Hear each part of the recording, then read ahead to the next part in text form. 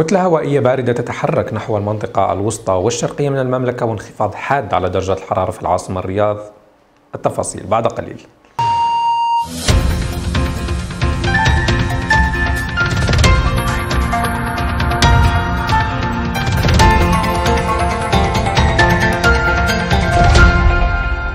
أسعد الله أوقاتكم بكل خير متابعينا في المملكة العربية السعودية. نهار اليوم استمرت الأجواء شديدة البرودة في المنطقة الشمالية. كنتيجة تأثر هذه المناطق بكتلة هوائية باردة قادمة من منطقة بلاد الشام عبر شمال الجزيرة العربية. هذه الكتلة الهوائية الباردة يتوقع خلال اليومين القادمين أن تتحرك جنوبا نحو المنطقة الوسطى والمنطقة الشرقية. استعمل انخفاض حاد في درجة الحرارة وهذا النشوء أحوال جوية غير مستقرة قد تنشأ على إثر غيوم تعمل على هطول زخات من الأمطار قد تشمل العاصمة الرياض. تفاصيل نستعرضها في هذه الخرائط لتوزيع الحرارات المتوقعة. اعتبارا من نهار اليوم وحتى بداية الأسبوع القادم. المنطقة الشمالية تبقى تحت تأثير هذه الكتلة الهوائية الباردة. درجة الحرارة تستمر أقل من معدلاتها لمثل هذا الوقت من العام.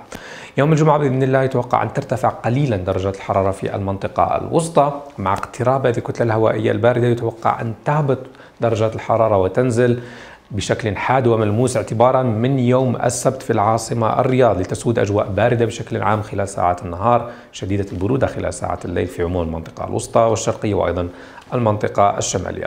كما يتوقع أيضا أن يتشكل الصقيع في أجزاء من المنطقة الشمالية خلال ساعات الليل المتأخر وخلال ساعات الصباح الباكر بشكل متكرر خلال الأيام القليلة القادمة.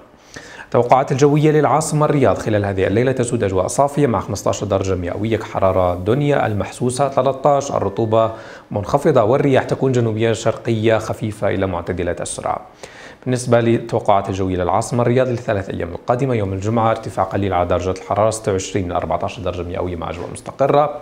تصل الكتل الهوائية الباردة نحو المنطقة الوسطى. تهبط درجات الحرارة بحوالي 10 درجات مئوية مقارنة بيوم الجمعة. 17 درجة مئوية كحرارة عظمى أما الصغرى 10 درجات مئوية مع فرصة لهطول بعض زخات الأمطار من غيوم منخفضة ناتجة عن اقتراب لهذه الكتلة الهوائية الباردة. يوم الأحد أجواء مستقرة بشكل عام المزيد من الانخفاض على درجات الحرارة مع تعمق لهذه الكتلة الهوائية الباردة. 15 درجة مئوية كحرارة عظمى أما الصغرى 11 درجة مئوية. بالنسبة للتوقعات الجوية لباقي المدن السعودية اليوم الجمعة نبدأها كالعادة من المنطقة الشمالية. أجواء باردة درجة حرارة أقل من معدلاتها مثل هذا الوقت من العام تبوك 17 إلى 3 درجات مئوية فقط سكاكا 17 إلى 8 وعرعر 16 إلى 7 درجات مئوية.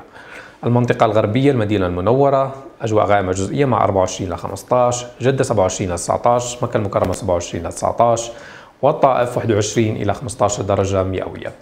بالنسبة للمنطقة الجنوبية الغربية الباحة 17 إلى 10 فرصة لزخات من الأمطار جازان أيضا فرصة لزخات من الأمطار مع 31 إلى 26 وأبها 20 إلى 19 إلى 9 درجات مئوية.